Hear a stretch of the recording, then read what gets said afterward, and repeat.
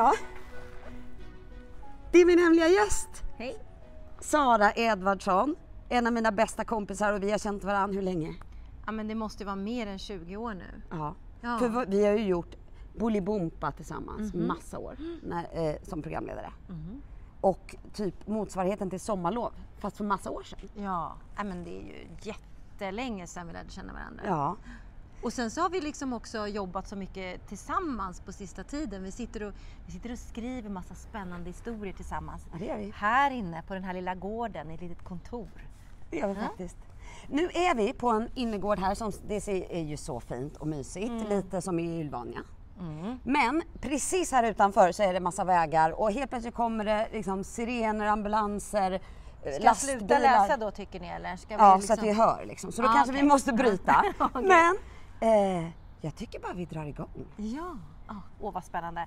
Okej, jag ska alltså läsa ett kapitel ur Ylvania, sagan om ljusbäraren, som du har skrivit. Ja. Alltså det är helt otroligt. Nu har jag redan läst alla dina böcker. Men just det här kapitlet eh, har jag inte läst på länge så det ska bli otroligt spännande. Är ni med nu allihopa? Okej, då kör vi. Storförrädarens son. Adrian var den som visste minst. Nästan ingenting. Han kände inte till mer än vad som stått i meddelandet. Att Master återuppstått och att de fyra väktarna var de enda som kunde rädda Ylvania från att gå under. Det stod inte hur, inte när, inte var. Det här kanske låter dumt, men exakt vad är vårt uppdrag? frågade han. Vi måste ta oss till Döda dalen, sa Stella. Du vet, där Master en gång besegrades? Ja. Döda dalen var en plats som alla barn hört talas om och drömt mardrömmar om någon gång i livet. För Adrian var platsen extra laddad.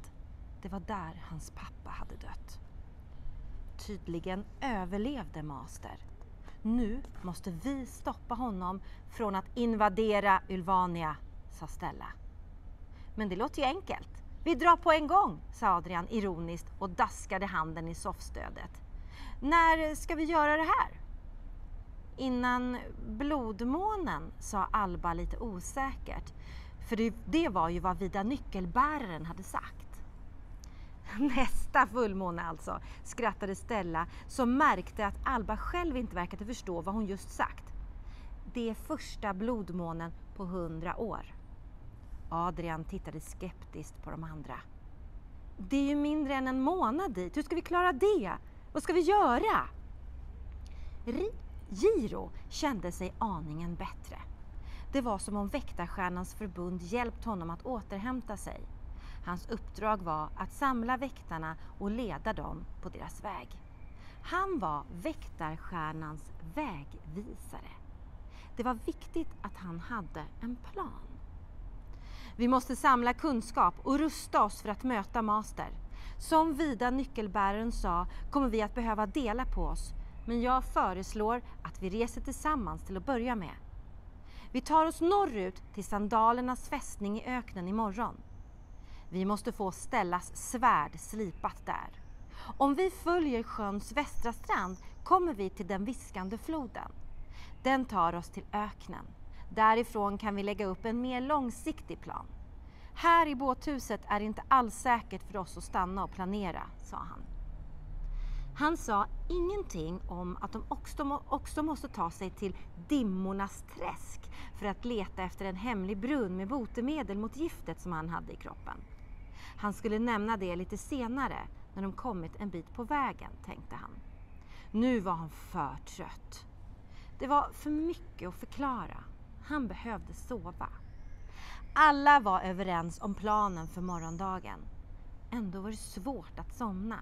Särskilt Stella var uppe i varv. Kommer ni ihåg vad Vida nyckelbäraren sa? Vi har alla olika förmågor. Kan vi inte berätta vilka krafter vi har? Eh, vad jag kan göra vet ju alla vid det här laget, sa hon och flinade. Inte jag, sa Adrian och tittade utmanande på henne från den andra soffan. Jag tror kanske inte det är så bra om hon visar det nu, sa Alba. Mitt i det spännande. Vad är det för krafter? Det är massa motorcyklar. Du har väl inte somnat Sara? Nej, det är jättespännande Okej, med de här. nu kör vi, nu Ja, kör vi igen. Ja. Okej. Jag tror kanske inte det är så bra att hon visar det nu, sa Alba. Tänk om båthuset flög i luften och de alla föll ner i det mörka vattnet där sjöodjuret väntade. Bom! utropade Stella och slängde ut med armarna. Sen skrattade hon, nöjd över att ha lyckats skrämma de andra. Förlåt, jag bara skämtar. Men jag kan explodera. Det är min kraft. Fast det är bara om jag blir riktigt arg. Det höll på att hända där borta bland idioterna på din skola. Varför höll de på så där? Adrian skruvade på sig. Just det ville han helst inte prata om. Ja, varför var de så taskiga?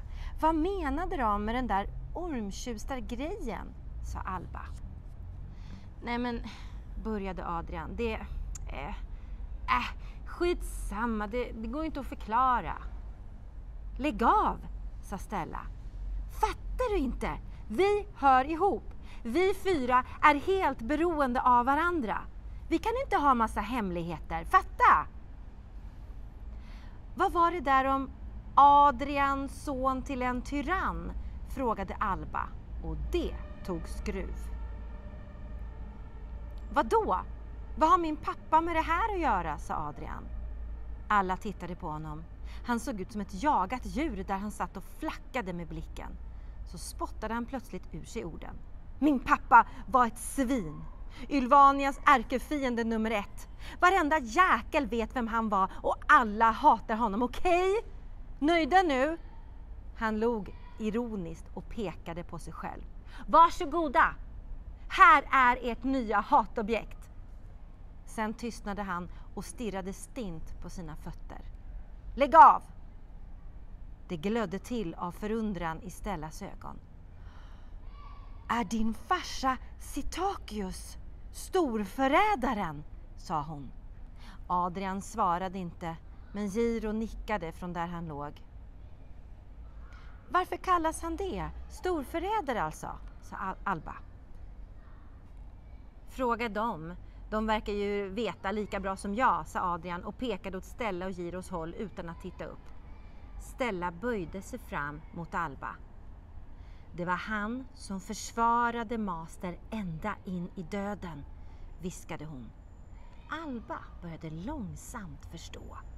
Den starka onda kraften som nu hade återuppstått skyddades in i det sista av Adrians pappa. Adrian hatade sin pappa eftersom det han gjort hade fått Adrians liv att bli till skit.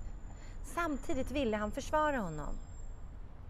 Från början var han faktiskt en av de sju magikerna och magikernas representant i äldsterådet. Min pappa var respekterad och beundrad av alla, bara så ni vet, sa han. Och sen blev han knäpp och började försvara det där flugmonstret, undrade Alba. Hon ville begripa hur allt hängde ihop. Ja, ja, ja, ni vet resten. Det är klart att alla hatar mig. Jag kanske är ett litet flugmonster jag med, sa Adrian. Mm. Han förvred armar och ben och spärrade upp ögonen så mycket han kunde för att likna en insekt. Han såg så rolig ut att Stella började skratta. Då kanske vi också blir flugmonster nu när vi hör ihop med dig. Familjen Flugmonster, här kommer vi! gläfste hon och grimaserade. Alba höll andan. Hur vågade hon skämta så där? Tänk om han blev sårad? Men istället började Adrian skratta han med. Alba brast ut i skratt av ren lättnad. De skrattade så tårarna rann. Stella knuffade till Giro lite retsamt för att få med honom i det roliga. Och snart kommer den ilskna koltrasten och äter upp oss. Hjälp! Kved Stella och spärrade upp ögonen ännu mer. Eller bajsar på oss, sa Adrian. Nytt gapskratt. Hallå, är du med eller fågelskrälle, sa Stella. Men Giro hade slocknat. Trots att det var absolut nödvändigt att gå ut och hämta mer dagg hade han somnat. Han hade bara inte orkat. Imorgon skulle han berätta sanningen för de andra. Det lovade han sig själv. Du är ju en zombie, sa Stella. Hon lyfte upp hans ben på soffan så att han kunde ligga ner. Det var tydligt att de känt varandra länge. Låt honom vara, han sa ju att han var trött, sa Adrian och vände sig till Alba. Är du verkligen från Ninjali? I så fall är du den första ninjan jag sett på riktigt, sa han imponerat. Jag vet, det är galet, sa Stella. Vem har sett en riktig ninja liksom? Alba ryckte på axlarna men rodnade. Visst var hon stolt? Hon var sprickfärdig. Hon ville bara slänga sig på telefon och ringa och berätta allt för Jussi och skryta om det för klassen och fröken och hela skolan. Men eh, vilka var dina föräldrar? sa Stella. Ni kan få träffa en av dem om ni vill, sa Alba och log stolt. Det bara kom, fastän hon egentligen inte visste säkert. Va? Hur då? Nu fattade inte Stella någonting. Var inte föräldrarna döda? Det var i alla fall vad Alba sagt kvällen innan. Utan att svara lyfte Alba upp sin diamant och viskade. Kom fram, visa dig. Det fladdrade till och ljusängeln dök upp, vände i luften och satte sig på Albas hand. Här, hälsa på mina vänner, sa Alba och rörde försiktigt de vita vingarna med fingertoppen.